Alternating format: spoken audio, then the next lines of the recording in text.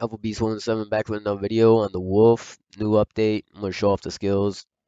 Stuff like that. Just in case you're not high enough level. So first we got Shock Jump. Dash towards the target, inflicting electric damage with a chance to shock the enemy. That's cool. Okay. Thunder, lightning that strikes a random enemy in front of you. Has a radius, so you don't ever have to be that close, it seems like. I haven't tested them yet. Poisonous jump, finally, you know, jumps toward the enemy with for a poisonous hit. Finally, been waiting for that. Uh, now we have, you know, the special. We got some specials. You know, we got the Shock Nova Electric Blast with a chance to shock the enemies in your area. Okay. Okay. Electrified makes you deal electric damage to nearby targets with a chance to shock them. That's kind of like Venomous Skin, so new Venomous Skin that does more damage, it looks like. Uh, then we have Electric Shock, a burst of electricity inflicting damage on targets in front of you with a chance to shock them. Okay. Alright.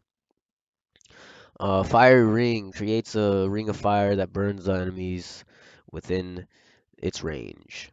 Uh, so that's kind of like Frost Nova. Electric trap. That's kind of it's just electric trap and poison trap. So yeah, finally have a DPS trap. I feel like that'd be pretty nice as long as it still damages them while they're in the area. Like while you, if you die, I'd have to test it, but if if you die and it still kills them, then that's like a really good skill to have.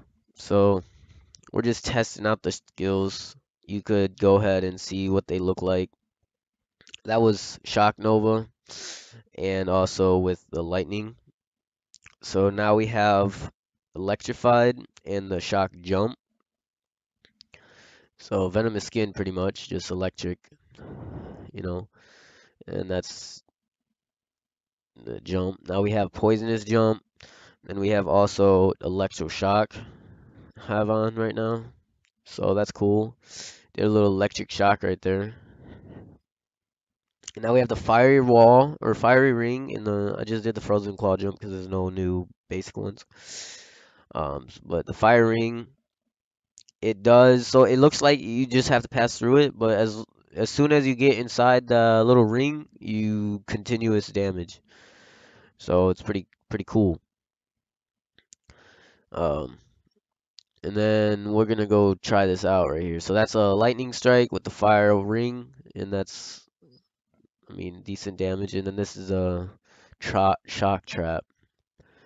So far, pretty good. Um, so like, thank you for watching. That's it. I'm gonna have a new tips and tricks video coming soon. Hope you guys enjoyed. Uh, I'm gonna just get used to these skills and then I'll post it.